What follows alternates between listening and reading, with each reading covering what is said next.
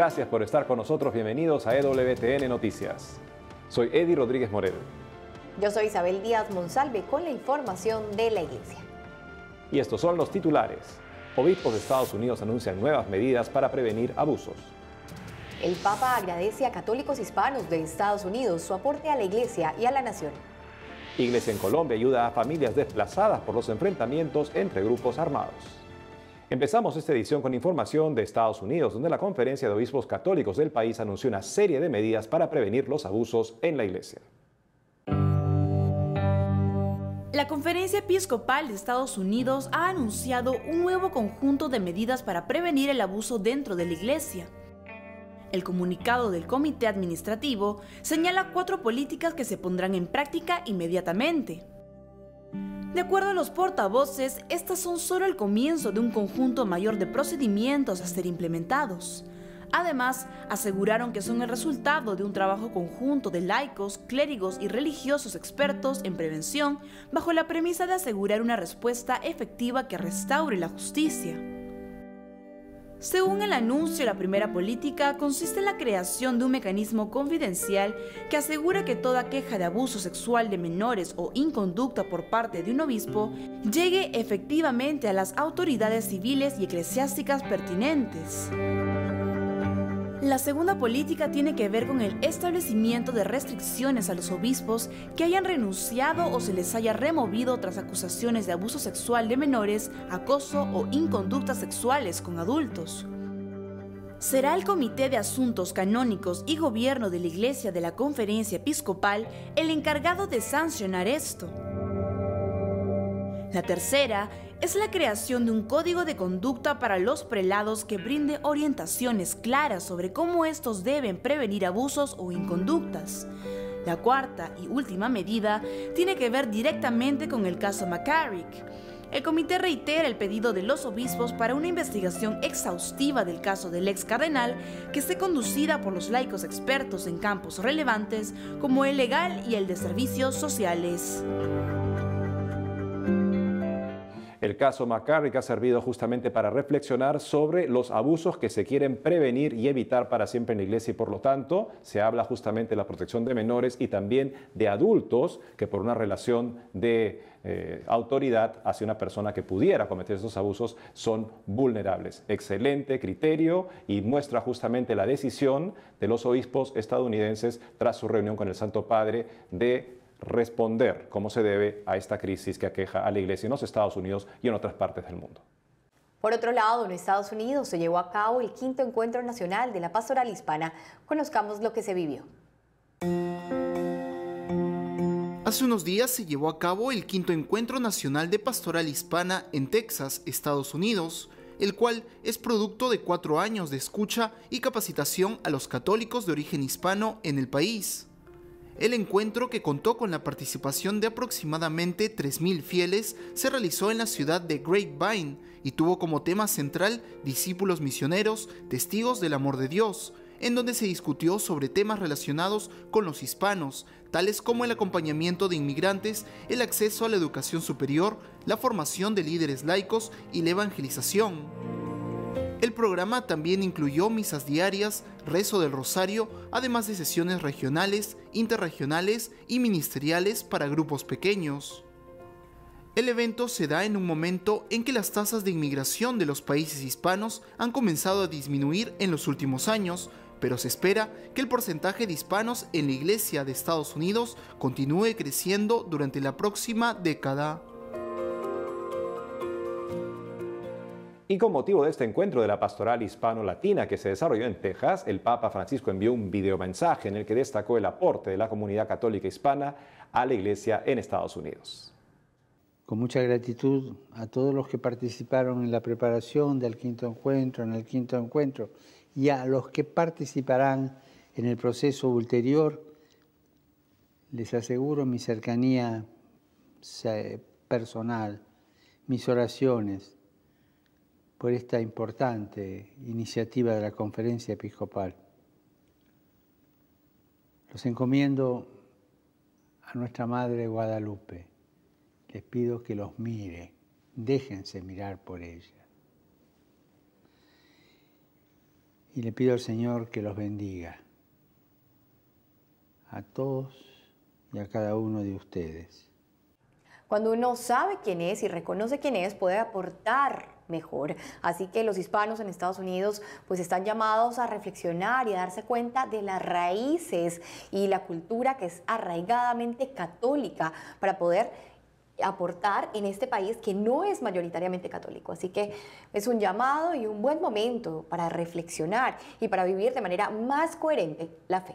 Puedo hablar de mi propia experiencia, Isabel, cuando a los 15 años me mudé a los Estados Unidos, un par de años más tarde estaba también estudiando en la universidad por mi cuenta y fue un momento para mí para eh, encontrar justamente mi identidad y encontré en esa identidad las raíces católicas y fue para mí un nuevo momento para vivir mi fe de una manera comprometida con el Señor Jesús, que pensémoslo bien, si hemos emigrado a otro país, estamos ahí para cumplir con nuestra misión de ser católicos ante todo. Y en otras noticias, el Papa Francisco recibió en una audiencia privada en el Vaticano al conocido cantante Bono de la banda de rock YouTube. Veamos. El Papa Francisco recibió en audiencia privada en la Casa Santa Marta a Paul David Hewson, más conocido como Bono, el cantante de la banda YouTube.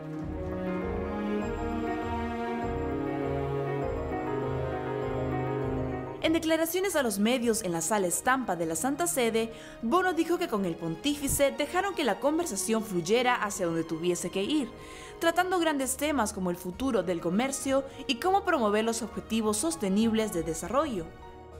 Asimismo, el cantante de origen irlandés declaró que conversó con el Papa Francisco sobre los lamentables abusos sexuales perpetrados por miembros del clero, que han causado tanto daño en todo el mundo y en especial en su país de origen. Sobre este tema, Bono aseguró que pudo percibir el gran dolor que siente el Santo Padre en esta lucha contra el mal de los abusos y afirmó que el Papa Francisco es un hombre extraordinario para estos tiempos extraordinarios. En la audiencia también participó el presidente de la Fundación Pontificia Escolas Ocurrentes, José María del Corral. Esta institución tiene como objetivo alentar a la integración social y a la cultura del encuentro entre los jóvenes a través de la tecnología, el arte y el deporte. Bono es uno de los fundadores de One Campaign, una organización que busca combatir la pobreza y que ha firmado un acuerdo con escuelas. No obstante, como se recuerda, en mayo de este año, YouTube expresó su apoyo al aborto en Irlanda a través de su cuenta en Twitter, donde se manifestó a favor de la derogación de la octava enmienda constitucional que protegía la vida de la madre y del niño por nacer. Y hace poco el Santo Padre publicó una nueva constitución apostólica, esta vez sobre el sínodo de los obispos. En la sala de prensa de la Santa Sede fue presentada la Constitución Apostólica del Papa Francisco, Episcopalis Communio, sobre la comunión del episcopado. En el texto el Santo Padre recuerda que el Sínodo de los Obispos es uno de los legados más hermosos del Concilio Vaticano II y que en él se manifiesta la comunión episcopal fundada sobre Pedro y Pablo. Para el pontífice, las asambleas sinodales han demostrado ser un instrumento válido de conocimiento mutuo entre los propios obispos, que ha favorecido la confrontación leal de las ideas y la profundización de la doctrina, al tiempo que ha impulsado la actividad pastoral, permitiendo que la Iglesia tome conciencia de que está en una nueva etapa de evangelización y en estado de misión permanente. La Constitución Apostólica Episcopalis Comunio deja en claro que el Sínodo de los Obispos está bajo la autoridad del Romano Pontífice y que sus miembros pueden reunirse en Asamblea General Ordinaria para tratar asuntos corrientes de la vida de la Iglesia, en Asamblea General Extraordinaria cuando algún tema de urgencia lo amerite y en Asamblea Especial de acuerdo a las necesidades de áreas geográficas específicas. La Episcopalis Comunio será aplicada en la próxima Asamblea General Ordinaria del Sínodo de los Obispos, a realizarse en Roma del 3 al 28 de octubre, con el tema Los jóvenes, la fe y el discernimiento vocacional. Magisterio es la responsabilidad y la autoridad que Jesús le da a los apóstoles y sus sucesores en comunión con Pedro y sus sucesores para ser fieles a la verdad. Jesús no enseña palabras de hombres, enseña la palabra de Dios. Él mismo es la palabra de Dios. Y la iglesia es fiel a esa palabra, es el sentido de su misión guiada por el Espíritu Santo también para entenderla siempre más profundamente. Como dijo el Señor Jesús, el Espíritu Santo los guiará a la verdad plena, que es una comprensión más plena, siempre coherente con la doctrina constante de la Iglesia. Ahora estamos enlazados con Lisa Lozada, nuestra corresponsal en Colombia, quien nos tiene información sobre un pronunciamiento del presidente de la conferencia episcopal de ese país. Adelante con la información, Lida. Hola Isabel, hola Eddie, un saludo muy especial desde Bogotá, la capital colombiana. Yo les cuento que a propósito de la convocatoria realizada por el Papa Francisco en días pasados a todos los presidentes de las conferencias episcopales del mundo para reflexionar sobre el tema de abusos a menores y adultos vulnerables en febrero de 2019, el presidente de la Conferencia Episcopal de Colombia, Monseñor Oscar Urbina, emitió un mensaje a todos los católicos colombianos, invitándolos a orar por el desarrollo de este encuentro y por supuesto para manifestar su decidido compromiso con la búsqueda de soluciones para esta problemática que ha afectado también al país. Como presidente de la conferencia episcopal, Dios mediante participaré en este encuentro. Los obispos invitamos a todos los sacerdotes, religiosos, laicos, católicos a orar desde ahora para que haya un abundante fruto que contribuya a la erradicación de todo abuso contra menores y ancianos vulnerables. Unidos en esa oración le pedimos a María que nos ayude a vivir nuestra vocación cristiana con autenticidad y profundidad. Y por otro lado, en los últimos días, luego de que más de 700 personas hayan tenido que ser desplazadas por los constantes enfrentamientos entre grupos armados ilegales que operan en la zona del Bajo Cauca antioqueño, situación que se presenta desde el pasado 7 de septiembre, la Iglesia colombiana, a través de su pastoral social y de la diócesis de Santa Rosa de Osos, ha estado prestando ayuda humanitaria de emergencia. Este acompañamiento, bajo el cual se ha hecho posible la entrega de víveres a aproximadamente 270 familias ubicadas ahora en el corregimiento de La Caucana, municipio de Tarazá, se mantendrá junto a un apoyo pastoral permanente y labores de asistencia psicosocial a la población afectada. Hemos logrado repartirles mercados por familias para 15 días, a la vez que hemos estado haciendo el acompañamiento a los líderes de estas comunidades que en estos momentos son amenazados y que necesitan salir de estas comunidades. Para la diócesis de Santa Rosa de Osos y para el Secretariado Nacional de Pastoral Social es un privilegio y un honor poder acompañar estas familias y hacerlos sentir que la Iglesia Católica está con ellos y que podemos brindarle el acompañamiento necesario para que sigan adelante. Isabel, Edi y televidentes, estas fueron las principales noticias de la Iglesia en Colombia. Hasta la próxima. Gracias, Lida, por la información. Amigos, tenemos que hacer una pausa, pero al volver, obispos de Nigeria llaman a la armonía y la paz en el país. Y el Grupo Católico Alfareros es nominado a los premios Latin Grammy 2018. Ya retornamos con más información en EWTN Noticias.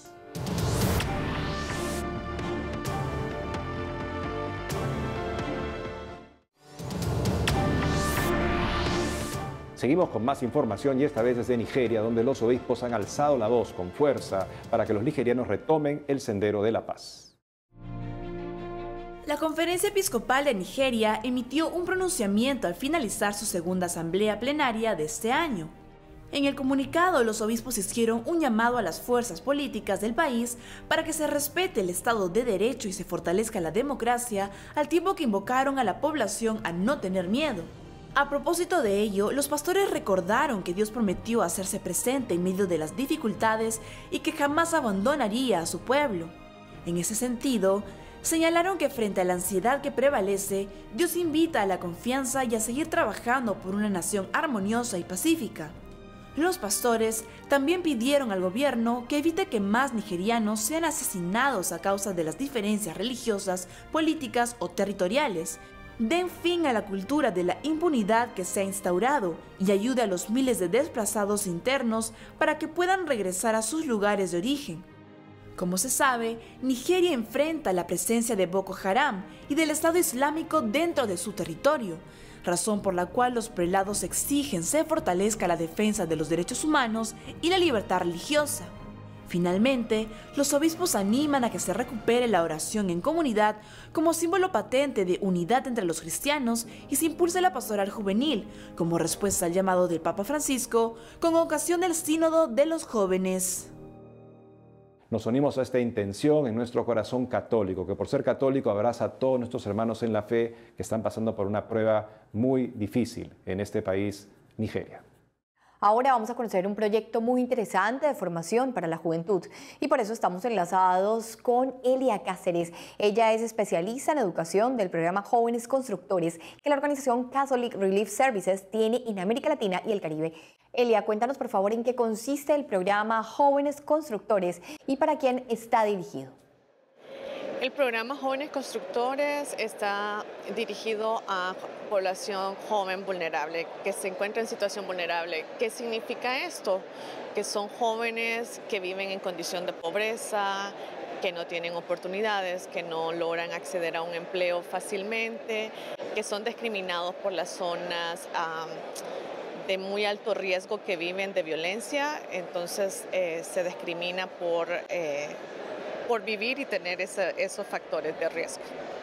Y cuéntanos, por favor, Elia, cuál es la formación que reciben los jóvenes y qué beneficios trae esto para su vida.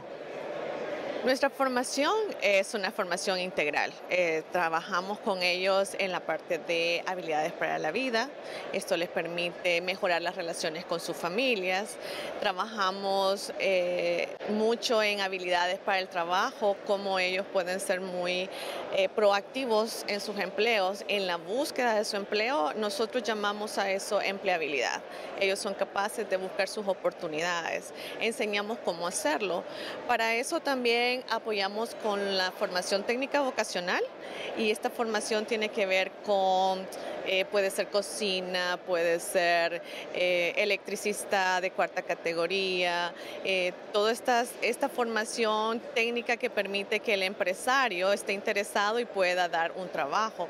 Además de eso, para nosotros dar la formación técnica vocacional, nos enfocamos en un estudio de mercado laboral en la zona donde vamos a hacer la intervención o donde vamos a desarrollar el programa y esto permite mayor, mayor probabilidad de inserción laboral para los jóvenes, que es lo que andamos buscando. Adicional, también trabajamos con ellos en eh, homologar o ayudarles a avanzar en sus estudios, entonces muchos de ellos no han terminado eh, su formación educativa primaria y avanzan y esto les va abriendo más camino. Y si nuestros televidentes están interesados en participar, ¿cómo pueden acceder y cómo pueden inscribirse? Nosotros, eh, nuestros jóvenes son de 15 a 26 años. Estamos en, en, Honduras, El Salvador, Guatemala, Nicaragua. Pueden buscar en Facebook como programa Jóvenes Constructores y agregan el país de acuerdo a donde viva el joven. Eh, de esa manera puede obtener más información. Eh, los técnicos están pendientes de todas las recepciones de, preguntas y, estamos dándole seguimiento pues, a las solicitudes. Además de eso, en cada país donde estamos, nosotros hacemos toda una comunicación con medios acerca de cuándo va a empezar el programa, en qué le va a beneficiar, para qué. Y estamos muy contentos porque desde que como CRS implementamos este programa, hemos atendido alrededor de 9.000 jóvenes, en donde el 70% logra... Eh, obtener un empleo, logra hacer su emprendimiento, logra eh, insertarse al estudio, mejorar y todo esto sin duda ayuda a la calidad de vida del joven y de su familia. Elia, muchas gracias por contarnos acerca de esta gran iniciativa y que Dios los bendiga. Gracias, Elia. En otras noticias, El Salvador se alista para vivir con gran alegría y espiritualidad la canonización en Roma de Monseñor Romero este próximo mes de octubre. Veamos. La población salvadoreña se viene preparando con gran entusiasmo para el próximo 14 de octubre, día en que Monseñor Oscar Arnulfo Romero será declarado santo. Y es que desde que se supo la fecha y el lugar de la ceremonia de canonización del Beato, el gobierno de El Salvador y la Iglesia Católica han iniciado un programa de actividades a nivel espiritual y logístico para este acontecimiento eclesial. Entre los principales eventos están la ceremonia oficial de canonización en Roma y un rosario que se realizará en los jardines vaticanos ante la imagen de la patrona del país, Nuestra Señora de la Paz. Mientras tanto, en El Salvador se ofrecerá una fiesta en la víspera de la canonización, que contará con un acto religioso cultural en la Plaza Divino Salvador del Mundo, y desde allí partirá una peregrinación hacia la Catedral Metropolitana, donde se realizará una Eucaristía, posteriormente un agape y un concierto cultural. Desde aquí un gran saludo para todo el pueblo salvadoreño que se prepara con gran alegría, con gran entusiasmo. También no olviden ofrecer este tiempo a Dios y prepararse muchísimo con la oración para poder recibir a este nuevo santo que Dios les regala. Ahora damos pase a nuestro corresponsal en Perú, Miguel Bizárraga. Adelante, Miguel. Isabel Eddy, les cuento que el clima político en el Perú no está pasando por su mejor momento, ya que debido a los casos de corrupción y la crisis en el sistema de justicia del país, el presidente Martín Vizcarra pidió a inicios de agosto que el Congreso apruebe cuatro proyectos de reforma constitucional, entre los que se encuentra la reforma del Consejo Nacional de la Magistratura y la no reelección de congresistas. Sin embargo, ante la demora en el debate parlamentario para aprobar las reformas, el mandatario peruano planteó un ultimátum al Congreso que pudo haber terminado con la disolución de este organismo, algo que no se dio ya que el Poder Legislativo le otorgó la confianza al Gabinete de Ministros y por el momento aprobó una de las cuatro reformas constitucionales. En este contexto, el arzobispo de Lima, cardenal Juan Luis Cipriani, alentó el diálogo democrático para evitar el enfrentamiento de poderes. Asimismo, el purpurado animó a actuar con prudencia y serenidad para unir al país en estos momentos y juntos buscar el bien común a través del respeto al Estado de Derecho. Ahora cambio drásticamente de información para contarles que hace unos días en Arequipa más de 9.000 familias disfrutaron del festival Un Día en Familia, que fue organizado por el Seminario Arquidiocesano San Jerónimo. Con motivo de reunir a las familias arequipeñas y ayudar a los jóvenes seminaristas en su formación, se realizó el festival Un Día en Familia, donde grandes y chicos disfrutaron de diferentes platos típicos, juegos, shows infantiles y grupos musicales. Todo lo recaudado ayudará a solventar los gastos de estudio, alimentación y salud de más de 80 seminaristas, quienes se preparan para ser los futuros sacerdotes de la arquidiócesis. Monseñor Javier del Río Alba, arzobispo de Arequipa, asistió al evento y compartió gratos momentos con los participantes. Por otro lado, les comento que el próximo 29 de septiembre se realizará en Lima el evento REC Perú o Razón en Cristo, que trata sobre cómo Jesús nos ayuda a superar las dificultades de la vida. Razón en Cristo es un proyecto de evangelización que nació en el 2014 en la pastoral de la Pontificia Universidad Católica de Chile. La edición para Perú ha sido organizada por el Movimiento de Vida Cristiana, junto con otras comunidades católicas. El objetivo de este proyecto es evangelizar a través de charlas sobre la fe y la vida cristiana. Quienes se encuentren en Perú y quieran participar pueden buscar el evento en Facebook como REC Perú. Por el momento estas son algunas de las informaciones de la Iglesia en Perú. Para EWTN Noticias informó Miguel Bizárraga. Gracias Miguel. Ahora les contamos que el grupo musical Alfareros ha compartido una gran noticia a través de sus redes sociales, un mensaje que llega a motivar y engrandecer el trabajo de los músicos católicos. Veamos. A través de sus redes sociales, el grupo musical Alfareros anunció con gran alegría que su producción 70 veces 7 ha sido nominada a la categoría de Mejor Álbum Cristiano en Español de los Latin Grammy Awards 2018. En declaraciones a Así Prensa, el director del grupo, Junior Cabrera, explicó que el nombre del disco está basado en el pasaje bíblico de Mateo 18:22, en el que Jesús invita a perdonar, a ser mejores personas, más optimistas y más cristianos. Asimismo, Cabrera manifestó que como Ministerio de Música buscan que sus canciones puedan evangelizar y tocar los corazones de las personas que las escuchan. La decimonovena edición de los Latin Grammy Awards se llevará a cabo el 15 de noviembre de este año. Es una gran alegría y felicitaciones para el grupo Alfareros, así que todos a seguirlos y a promover la buena música católica. Todos los artistas que eh, trabajan por evangelizar a través de la música, pues necesitan también de nuestro aporte, de nuestra ayuda, de que compartamos sus canciones, vayamos a sus conciertos, para que así podamos llegar a más personas y evangelizar mejor a través de la música. Y es todo por hoy amigos, gracias por haber estado con nosotros en EWTN Noticias. Que tengan un buen día y saben que pueden seguirnos en nuestras redes sociales. Hasta pronto.